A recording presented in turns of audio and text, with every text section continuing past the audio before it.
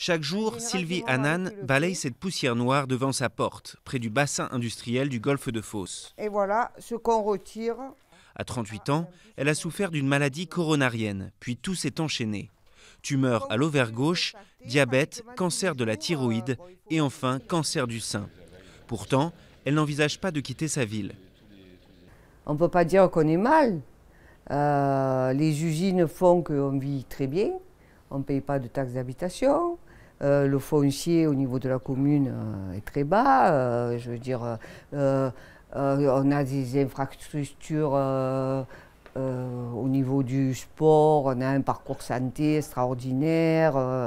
je veux dire, on vit très bien. Hein. mais bon, on respire pas trop bien. Sylvie n'est pas un cas isolé. À Fos-sur-Mer et dans les environs, on a deux fois plus de chances de développer du diabète et les cancers sont aussi plus fréquents. C'est en tout cas ce qu'affirme une nouvelle étude participative qui se nourrit de témoignages directs plutôt que de statistiques médicales. Cela peut surprendre, mais la sécurité sociale n'autorise pas l'utilisation de ces bases de données pour faire de la prévention. Pour ce spécialiste des maladies professionnelles, cette nouvelle étude est donc fondamentale.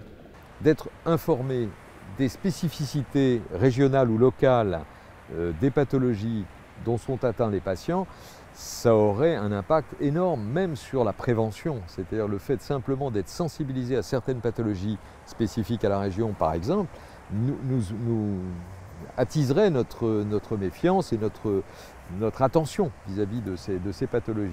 Or, ce n'est pas le cas. Euh, nous n'avons que des impressions. L'étude a été menée par la sociologue Barbara Allen. Sa méthode, populaire aux États-Unis, consiste à interroger les habitants un à un plutôt que de consulter le registre des hôpitaux pour dresser une carte très précise des pathologies. Les personnes interrogées sont par ailleurs impliquées jusque dans le processus d'analyse des résultats. Si les résidents participent à la réalisation de l'enquête et à l'analyse des données, alors ils s'approprient l'enquête, ils la comprennent et ils lui font confiance. Du coup, ils se sentent le pouvoir de s'en servir pour pousser au changement politique et social dans leur environnement ou dans leur ville. Officiellement, incinérateurs, raffineries et centrales respectent les normes européennes en matière d'émissions. Mais les associations dénoncent un effet cocktail.